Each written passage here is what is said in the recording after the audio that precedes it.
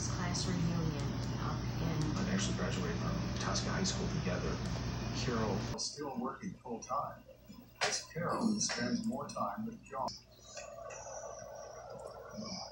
naturally stepped up and said, you know, we'll just stay with her. A classic mark of a muscle. You know, something's not right.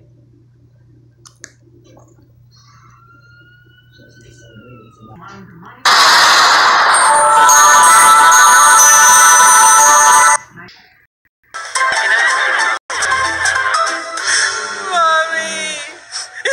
It's over!